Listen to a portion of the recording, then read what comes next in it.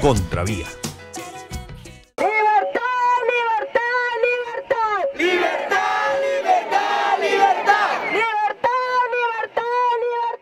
Es imposible que haya mediación internacional si no hay confianza.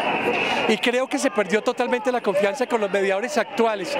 Pero la experiencia de El Salvador, la experiencia de Guatemala, demuestra que no es posible lograr acuerdos de paz exitosos sin mediación internacional. Y me parece que Colombia debería buscar la presencia de Naciones Unidas para no alargar la agonía del fin del conflicto y lograr la paz lo más pronto posible. Por eso yo creo que si bien se retiran algunos mediadores, deberíamos encontrar otros mediadores con enorme legitimidad internacional para lograr la paz en Colombia.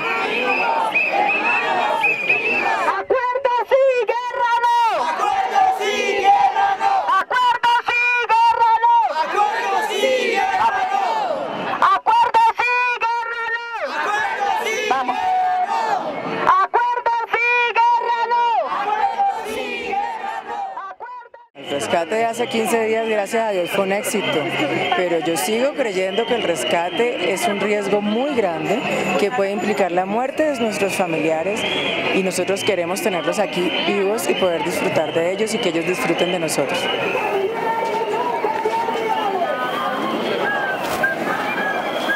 Ah, No más no más. Estamos cansados de la guerra. Queremos paz, queremos volver a nuestros pueblos a cosechar, a sembrar para que haya igualdad para todos. Lamentablemente toca utilizar cosas para el rebusque. Es muy triste que tenga uno que sacrificar un momento para denunciar la desaparición forzada y tener que dejar uno de eso al lado para poder subsistir. ¿Por qué no protestar también por esa indiferencia que existe contra De pronto porque a veces es como un poquito complicado protestar por lo que uno siente, protestar por la desaparición forzada, por la desaparición del Estado. En este momento la gente está mirando es otra cara de la situación de este país, pero lamentablemente no se han puesto a pensar por los desaparecidos de Estado, que es mucho más preocupante, porque por lo menos los secuestrados, duro es, pero se sabe dónde están. Nuestros desaparecidos no sabemos quién los tiene, no sabemos dónde están, no sabemos qué ha pasado con ellos.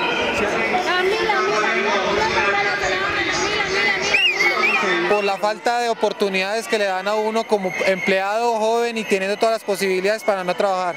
¿Por qué no protestar también por eso? Claro que sí, también se debe organizar una protesta por eso mismo. Hace falta oportunidad en este país. Hace falta oportunidad en el país. No solo mirar, me parece muy bien que miran a los secuestrados, pero todos los sectores del país hay que mirarlos. Contravía.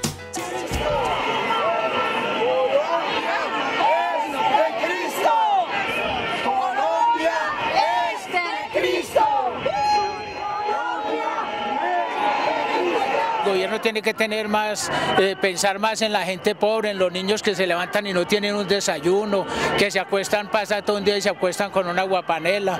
Y las leyes que sacan es que prohíben a las personas que están en los semáforos vendiendo comida, eh, vendiendo cualquier producto y mucha gente el sustento que tiene es ese porque no hay fuentes de empleo. Y definitivamente la única paz que puede dar, la puede dar es Cristo Jesús. Los seres humanos no pueden dar paz porque en el ser humano que hay pecado, hermano. Por ello yo le invito a ustedes, usted como congresista, que ya aprobado un aborto en Colombia, si Dios dice, no matarás, porque todos estaremos delante de Dios, entregándole cuentas a Dios ese día. El Congreso de la República lo que quiere mostrar es que está por la libertad inmediata de todos los secuestrados sin condiciones y que está dispuesto a contribuir por la paz y la convivencia de todos los colombianos.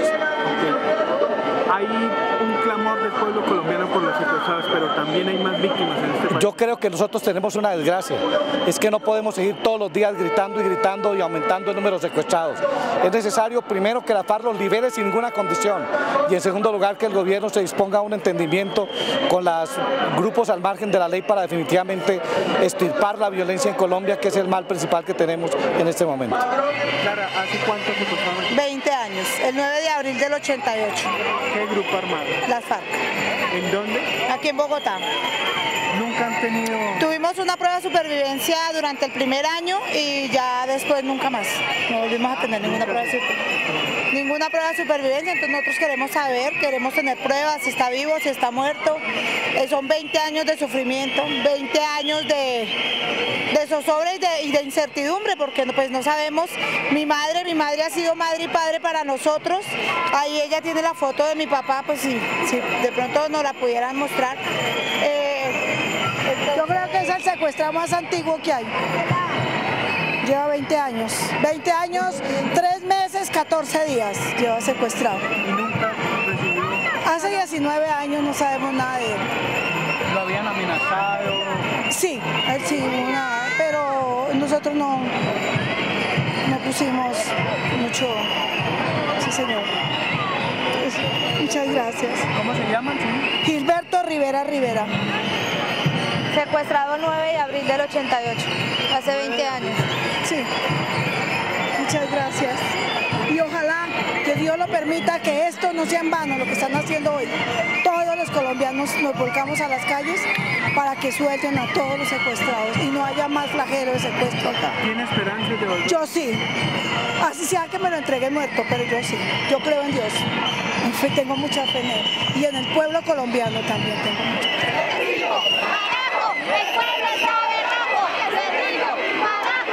pueblo está